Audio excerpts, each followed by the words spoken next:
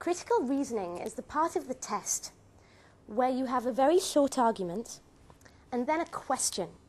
And the question is something like Which of the following best serves as the conclusion of the argument? Or what is the assumption in the above argument?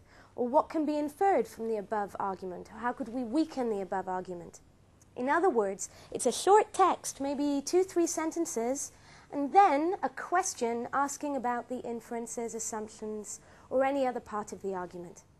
Now, before we start looking at questions, there's a number of things we need to do first. And I think, firstly, we need to talk about what an argument is. Okay?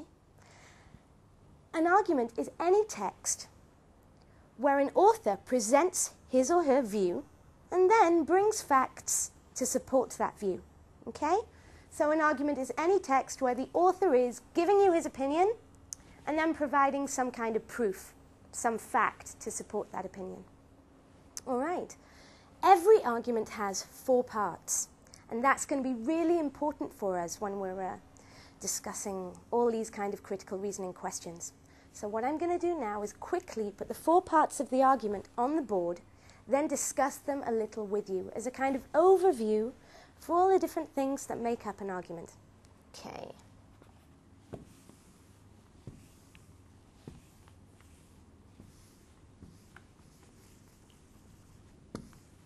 Okay.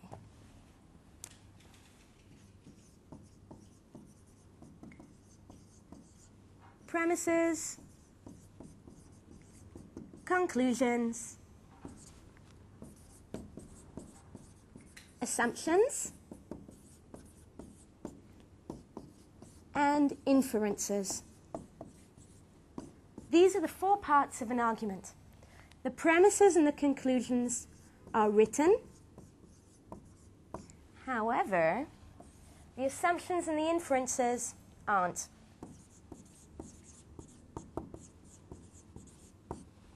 Okay. Let me try and explain to you a little exactly what each of these parts of an argument is. All right, let's start with the premises. A premise is simply a fancy way of saying fact, okay? That is the facts that the author's bringing to support his conclusion, okay? To support his argument, all right? So, if you like, we'll put next to the word premises here the word facts. Okay? Premises are facts. The facts given as proof for what the author is trying to make you believe. Okay? They are always written for you, always given to you in the argument, so you don't have to go searching. They're there for you. The other thing that is always written in the argument and basically given to you is the conclusion. The conclusion is the idea that the author is trying to make you believe, or alternatively, the step that the author is trying to get you to make. Okay? So a conclusion is that thing that the author is trying to make you believe, or that thing that he's trying to get you to do. All right? So that's the premises and the conclusions.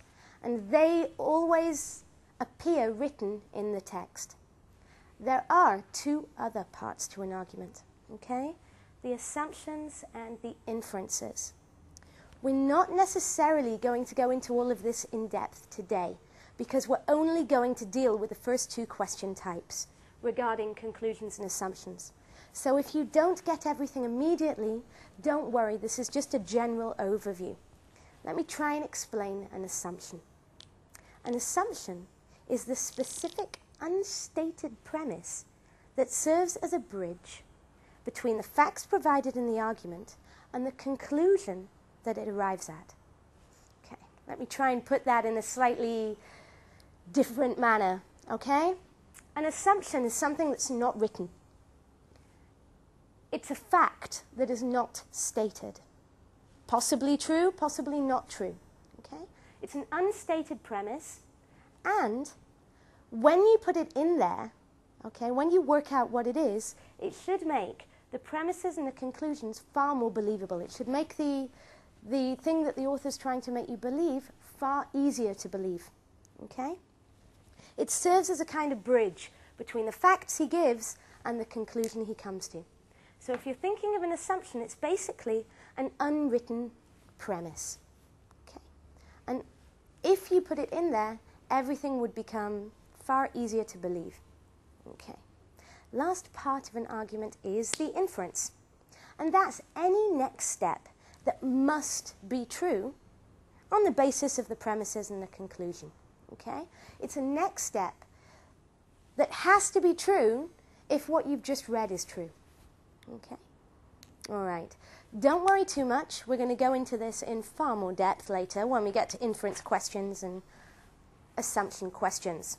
Now, for any question type, there is a first step and there is no avoiding it. The first thing you must be able to do is separate the premises from the conclusions. Once you have found the conclusion, you'll understand the argument totally. Okay? It will be far easier to understand the argument if you can tell the difference between what's fact and what's opinion. Always important, okay? You must be able to, to separate at the beginning, as you are reading, the premises from the conclusion. Now, the way I think I can help you to do that is maybe putting on the board some clue words that can tell you that a conclusion is coming. Okay? So if you see these words, you know that whatever comes next is going to be a conclusion. All right?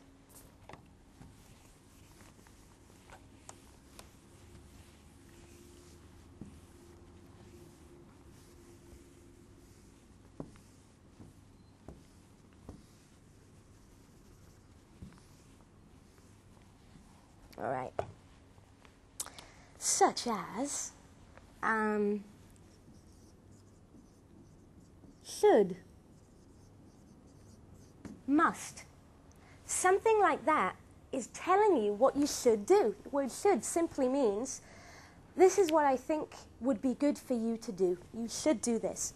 So obviously, that's telling you that a conclusion is coming because what's a conclusion? The thing that the author wants you to believe or wants you to go and do. All right? Other words that will help you out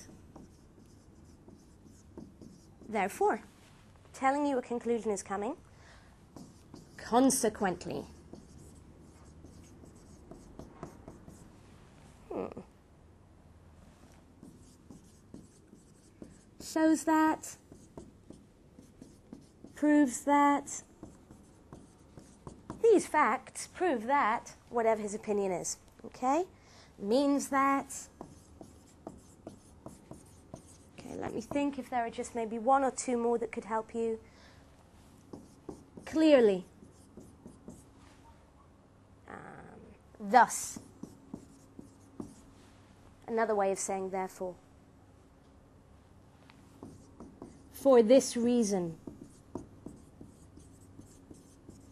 It doesn't matter if you remember all of these.